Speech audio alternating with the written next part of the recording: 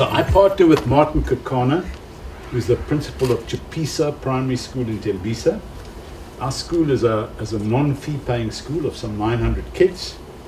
We started our partnership last year in February 2015 and just recently celebrated our first year together.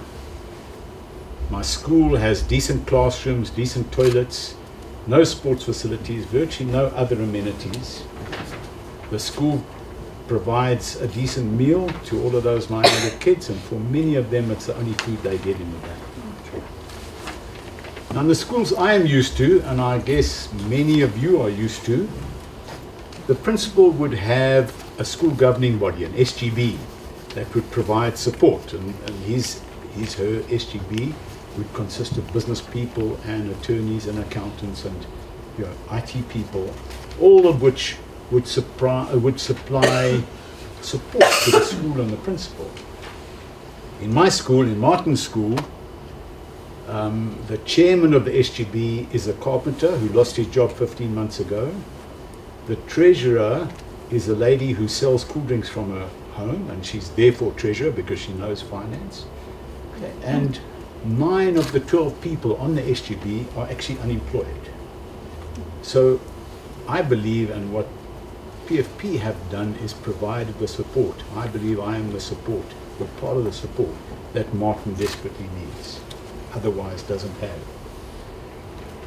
So going back a year, at our first meeting together, when I was arranging the meeting with Martin, I asked him to bring along his organization plan, his budget for the year, and his plan for the year. I mean, how, you know, what other, that's what you need for a business meeting, isn't it? Yeah. And of course, he had none of those things.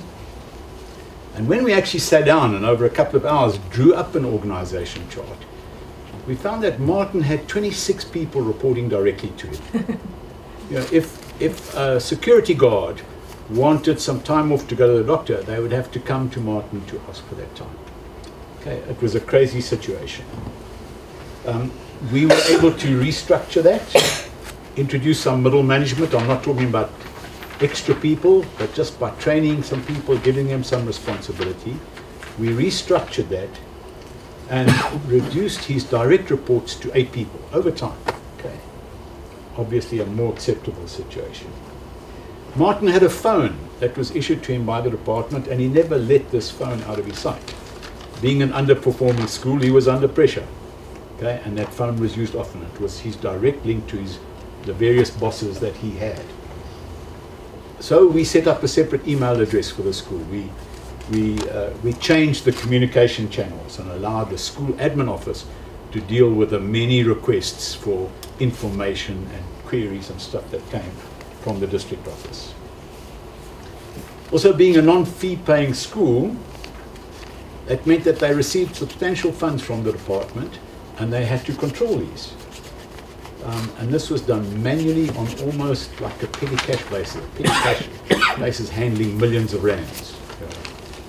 So little control or governance. We, we implemented an accounting system and that's largely enabled just simple controls.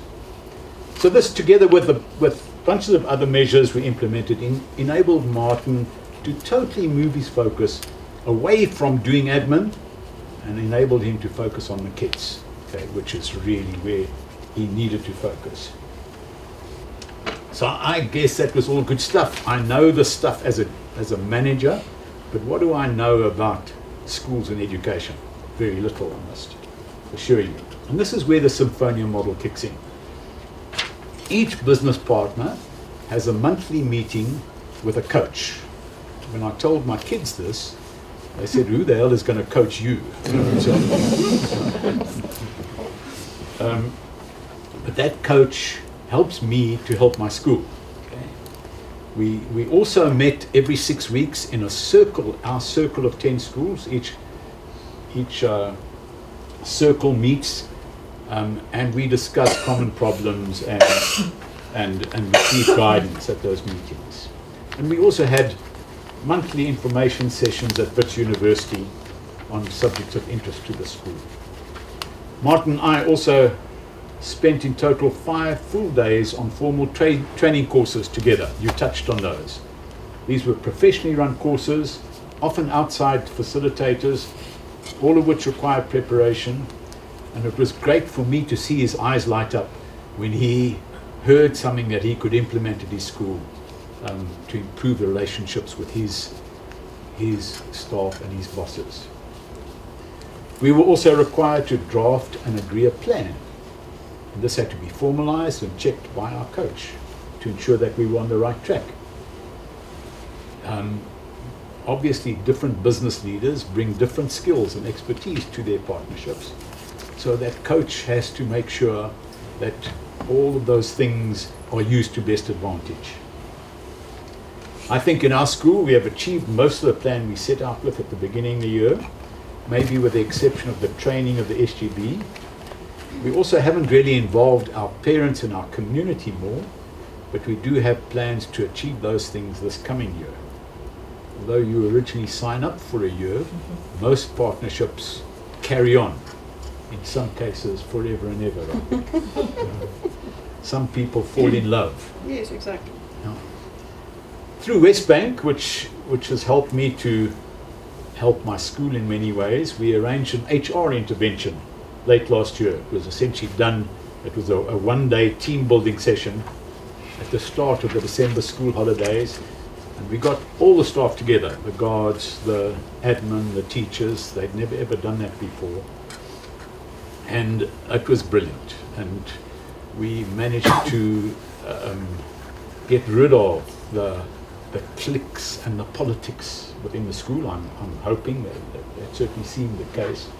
And each and every staff member committed themselves um, individually to improving and bettering uh, their personal contribution to that school, obviously to the total betterment of, of, of the kids.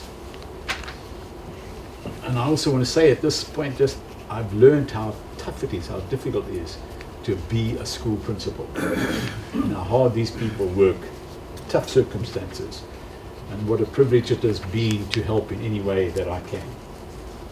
I just think this model works so well. Symphonia or Partners for, for Possibility are now in 400 schools, and they need to do thousands more. All the various corporate social, corporate social involvement schemes are are donating serious money to many good causes. But this model follows up the money with expertise and experience and skills.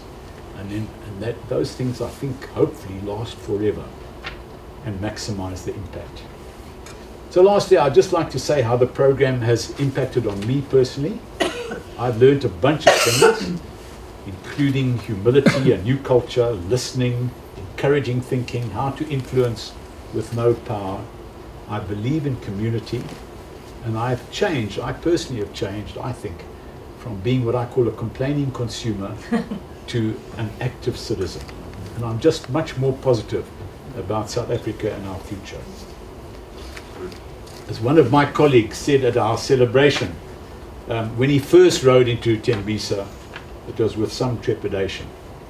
Whereas at the end of the year, he was phoning home saying he was stopping off at the local shebeen. so as the leadership program for business leaders, I have found it life-changing. An exposure to many school principals. In all the training courses that I've been on, I've, I've met a whole bunch of school principals and a whole bunch of business leaders. And there's not one of them that doesn't rave about what they've learned and how they have benefited. And that's the way I feel. Thank you, Symphony.